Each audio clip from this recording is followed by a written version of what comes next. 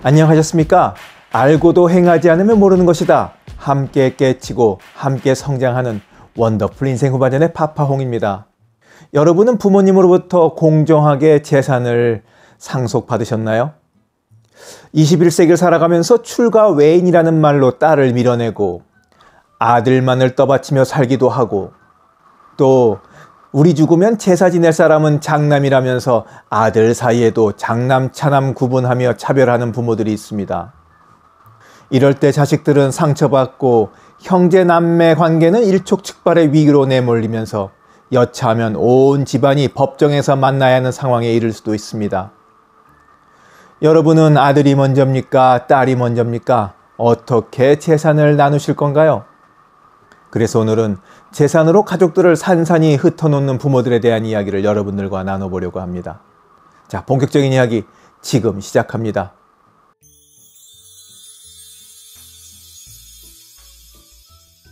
인간은 부모에게서 사랑을 받기 위한 투쟁을 벌이며 성장합니다. 그 사랑의 쟁취는 인간 본연의 욕망이고 본능인 것이죠. 어려서 형제들끼리 부모의 사랑과 관심을 더 받기 위해 쟁탈전을 벌일 때 편애가 있으면 큰 상처로 남는 것처럼 부모 사랑의 쟁탈전이 다시 불거지는 시점이 바로 유산 상속 시기입니다. 금액은 사실 큰 문제가 되질 않는다 그래요. 얼마가 되었든 형제 남매 사이에 공평하게 나눠지지 않을 때 부모 사랑을 얻지 못한 사실을 현실로 느끼면서 분개하게 되는 겁니다. 형제 중 차남인 김 씨는 어린 시절부터 형에게만 쏠리는 사랑으로 상처를 입었습니다.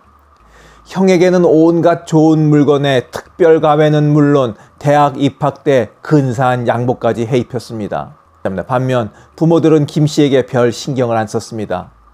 순하고 무던한 성격의 김 씨는 나도 부모님의 사랑을 받고 싶다는 일념으로 예쁜 짓만 하며 성장했습니다.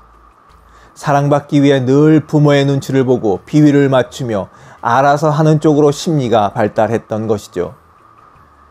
나이가 들수록 가족 간의 힘의 구조는 기묘하게 뒤틀렸습니다. 형은 아무것도 안 하면서도 많이 받고 동생인 김 씨는 열심히 하는데도 아무것도 받지 못했습니다. 열심히 산 덕에 김 씨는 그럴듯하게 가족과 자산을 일군 반면 형은 실패를 거듭해 이혼 후 혼자 삽니다. 이제 부모님은 넌 잘 살지만 형은 계속 챙겨줘야 하는 형편이라며 편애를 계속합니다. 유산까지 형에게 상속하겠다고 하자 곰고 골문 김 씨의 상처가 마침내 터졌습니다. 가정 내 모든 문제를 해결하고 온갖 대소사를 챙기던 김 씨가 손을 놓아버려니 집안이 돌아가지 않게 되는 것입니다. 그래서 부모님은 너 변했다. 인간된 도리로 그러면 안 된다고 하신 통에 죄송스럽지만 한편으로는 너무 억울했습니다. 왜 나만 늘 주기만 해야 하고 형은 받기만 해야 하나요? 이렇게 김 씨는 하소연을 하며 부모님이 너무너무 서운했습니다. 사연을 말씀드린 김에 하나 더 소개해 드리겠습니다. 일남 이녀의 막내인 40대 여성 유 씨는 지난해 명절 사업가인 아버지의 일방적 유산 배분 선언에 깜짝 놀랐습니다. 회사랑 집, 고향 땅까지 재산은 전부 오빠한테 주겠다고 한 것입니다. 놀란 표정의 유 씨와 눈이 마주친 아버지는 농담인 양, 아이고, 우리 막내딸은 집 살 때 도와줬으니까 오빠 건 넘보지 마라. 이렇게까지 말했습니다.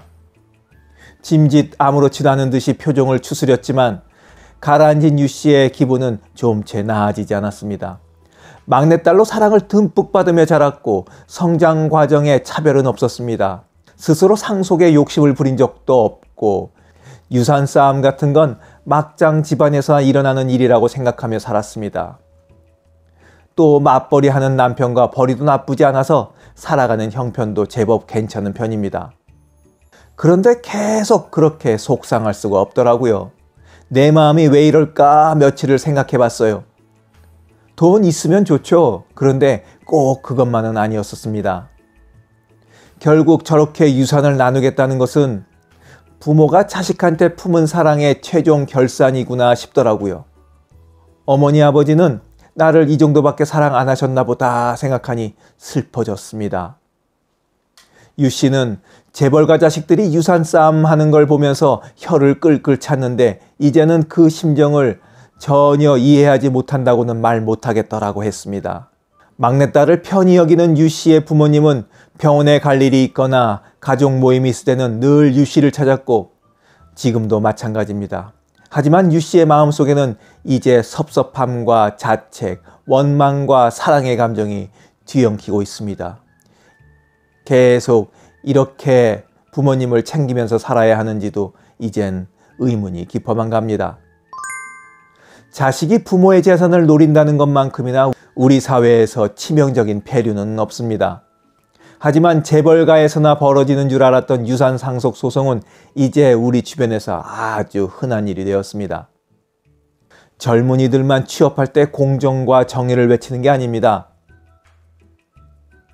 자식들이 유산을 받을 때도 공정과 정의를 외치죠. 하지만 문제는 사람마다 공정성의 기준이 다 다르다는 데 있습니다. 장남은 책임과 부담이 더 크니 많이 가져야 한다고 주장하는 반면 동생은 어렸을 때부터 다른 형제들보다 혜택을 누려온 장남이 상속까지 더 많이 받겠다는 것은 지나치다고 여깁니다. 또한 지난 일은 다 차치하고 현재 자신이 가장 못 살기 때문에 잘 사는 형제들이 더 많이 양보해야 한다는 입장과 부모님을 모시고 사는 내가 생활비도 더 많이 쓰니 당연히 더 많이 받아야 한다는 입장과 부딪히기도 합니다.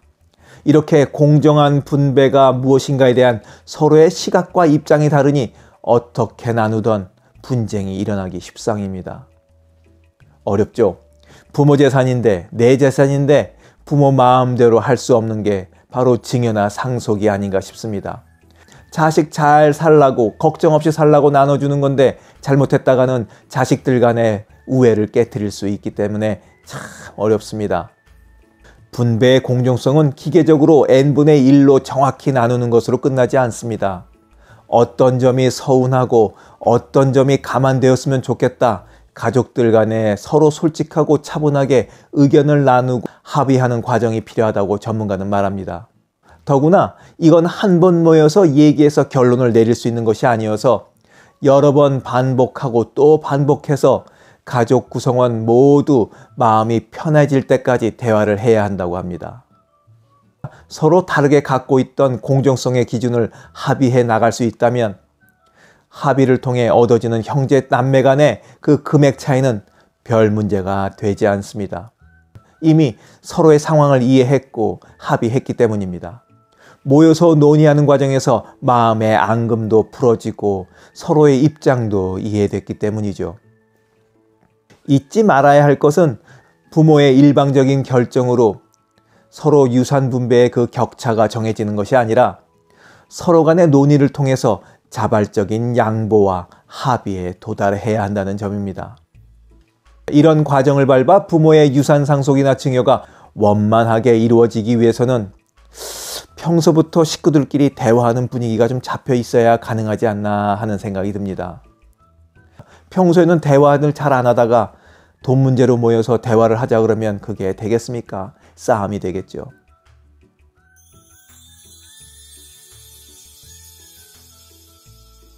최근 10여 년 사이에 딸과 가까이 살며 부양의 책임은 딸에게 지우면서도 유산은 아들에게 넘기는 집이 생각보다 많다고 합니다. 함께 살기는 딸이 편하지만 집안이 일어서려면 아들이 잘 돼야 한다는 전통적 가치관이 워낙 뿌리 깊어서 시대의 변화를 따라잡지 못해 생기는 일이라고 합니다.